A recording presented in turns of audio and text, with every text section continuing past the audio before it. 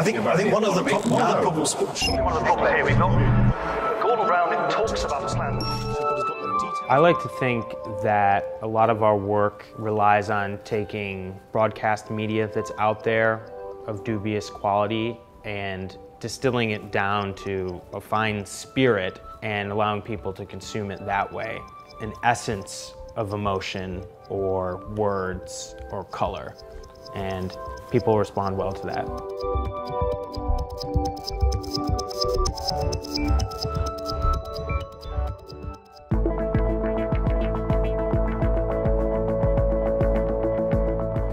Sosolimited is an art and technology studio focusing on interactive design and multisensory experiences. We're interested in installation work, physical spaces, and then also design, mobile devices, and stuff like that. We met each other in undergrad at MIT. We all wound up having the first same job when we left school, and after hours we would perform out at clubs and lounges, playing music and doing visuals. And that's where we had our genesis.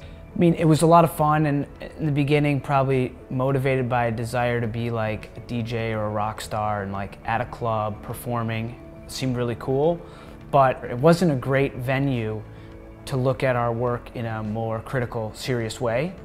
And we felt like the tools we were developing, all this custom software that we were writing, could really be pushed a lot further.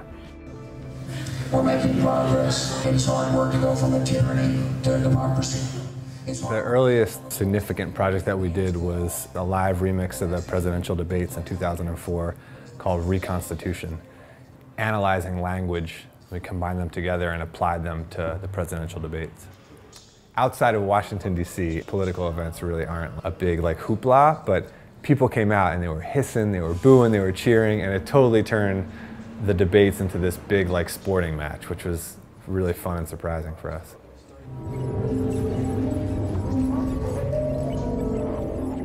This piece is called Set Top Box, and it's the newest iteration of this long project we've been working on where we use television as an input source and see what we can do with it, transform it, remix it live.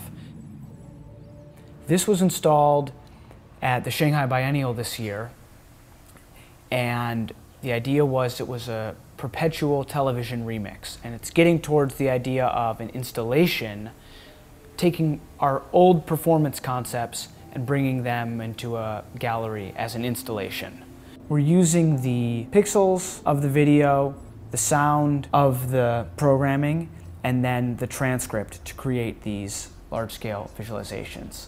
And it's really uh, more about artistically getting you into the content. So getting you real, real close to the words, the emotions, and the sort of colors and feeling of the television show. I mean, there's really no limit to how big we want it to get in terms of what information is accessible, and then we'll take a specific sliver of that and turn it into a visual transformation.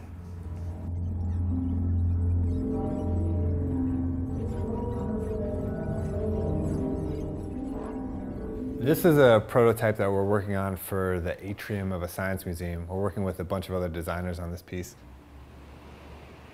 It is a 125 foot by 10 foot wide serpentine structure that stretches through the height of this four story atrium. It's all about abstractions in nature and in science, and it's a kind of visual representation of this whole abstraction process that happens with scientists taking a really complex analog phenomena and modeling it and downsampling it. And that's what we're doing visually on the piece. The excitement that a scientist gets from modeling a whole very complex phenomena with a few lines of equations, the same excitement that we get from programming. You know, it's this boiling down of information. And we wanted to try to encapsulate that somehow for the visitors to the museum.